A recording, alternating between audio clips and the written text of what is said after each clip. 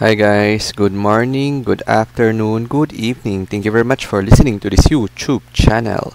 January 25, Thursday, market uh, closed lower today, down 6.46 points or down uh, 0.10% to close at 6,673.5.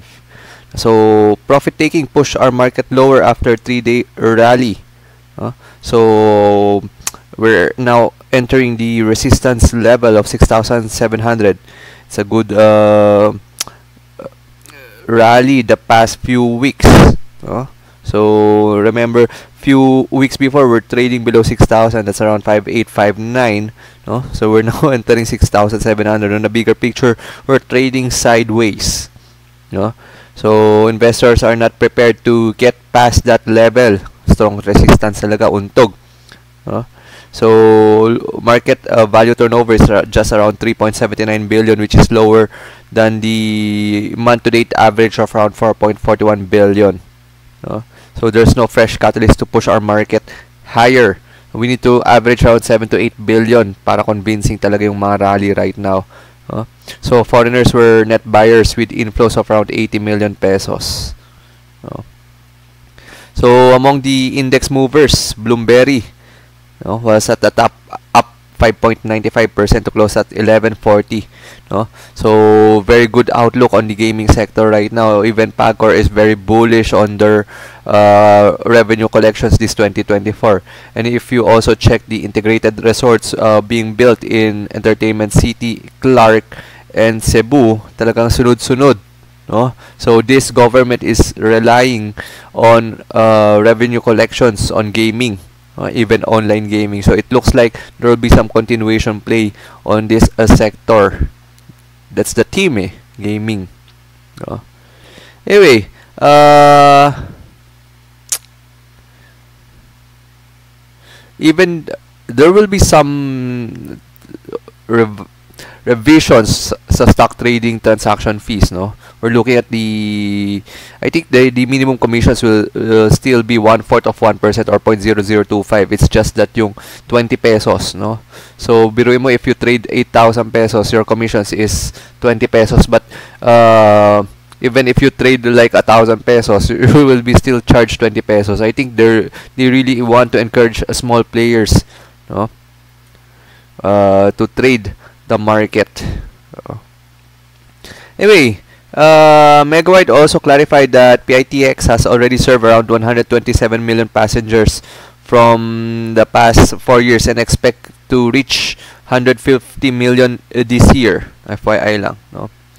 So, FDC also completed the payment of the company's 10-year fixed rate retail bond in the aggregate amount of around 8.8 billion. No? Uh, what uh, we're monitoring right now is this airport serie no? So we all know naman uh, several companies uh, made a bid uh, for the rehabilitation ng NAIA. So they're looking to disqualify San Miguel Group. If you don't know uh, Ramon Ang also submitted a proposal to rehabilitate NAIA to privatize. Unfortunately kasama sa clause na uh, anti-competition. No? So, na, uh, Ramon Ang is also building a airport, an airport in Sangli, or I mean in Bulacan. No? So, medyo conflict of interest. And Ramon Ang is using several uh, shell companies para malusutan to. And they're looking to disqualify him. No? So, let's monitor how uh, this would pan out no? So Ramon Ang is one of the top uh, bidders to to to privatize na iya the next group yung uh, uh, consortium the super consortium together with an airport uh, infrastructure company which recently was acquired by BlackRock no?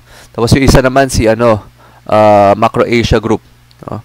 Anyway, uh, GT Caps Toyota Motor has also used 25% of its allocated investment in the production of new Tamaraw multipurpose vehicle, which is around 5.5 billion. No?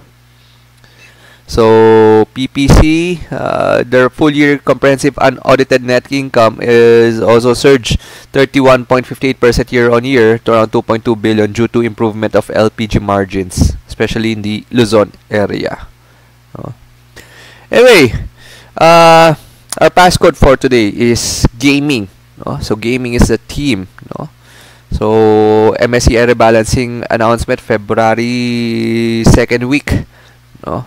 So let's see if there will be some uh, movements and index rebalancing this February. No? Uh, people are just now positioning for some dividend plays this first quarter. No? So the deadline for full year uh, 2023 is on April 15 and some companies will start uh, releasing their full year by around March. Eh. No? So let's monitor. No? So again, thank you very much for listening. Stay safe. Bye.